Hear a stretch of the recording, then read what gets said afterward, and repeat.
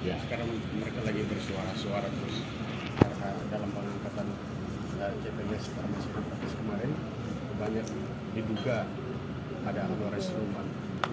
Ya, katanya tidak pernah honor dan yang Kemudian itu bisa jadi case nanti. Namanya nanti kita ngobrol lupa kan? Artinya begini penting dapat data itu nanti kita kita pendalaman kita cleansing ya. Eh, apakah ya nanti ya, ya diolah datanya tapi kalau itu kan case jadinya. Bukannya dari nama yang ada.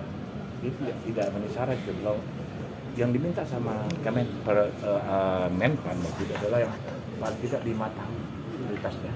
Bukan yang yang di bawah lima tahun. Nah, jangan sampai nanti yang lima tahun nggak masuk, yang sudah lama, yang setahun dua tahun masuk.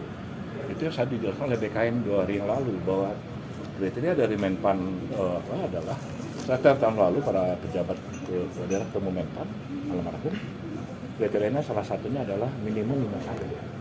Sudah sebagai itu jadi prioritas. Ya. Jadi benar bisa jadi ada yang sudah lebih tapi malah yang setahun masuk.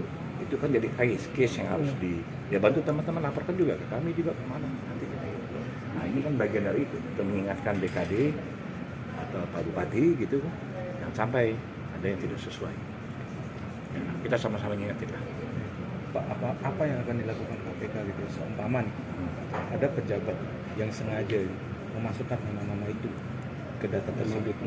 Ya. Dia manipulasi ya artinya kan manipulasi itu bisa pidana di kepolisian bukan korupsi kan?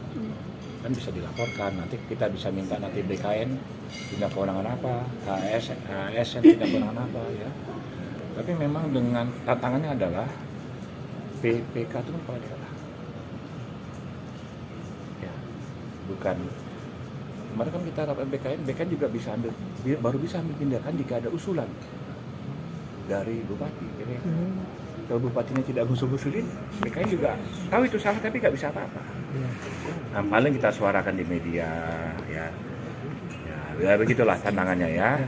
Kita tahu sama tahu tapi paling tidak bagian dari kami kami coba buka dulu. Boro-boro ini kita buka dulu. Mudah-mudahan nanti, nanti ketemu ujungnya gitu aja. Ya nggak berani PHP juga tapi yang penting kita buka dulu. Yang selama ini dianggap benar. Ya. karena bisa Pak sampaikan juga kena PPK ini pada di, di tadi di Naviri kan 174 dengar nggak dari Pak Wilson sampaikan? Itu PPK-nya angkat sendiri. Angkat sendiri kasih NIP sendiri. Animnya juga ngaco-ngaco. Pas dia PGN BKN bilang nggak ada di sistem kita ini. Tapi mereka sudah bertahun-tahun kita digaji. Itu terjadi. Amerika satu tujuh empat yang nggak tahu di sini mungkin ada juga. Bisa nanti jawaban bupati sekarang wah bukan zaman saya itu bupati yang lama. Ah, gitu gitulah nggak beres-beres tapi ya sudahlah mari kita sama-sama kita angkat ini.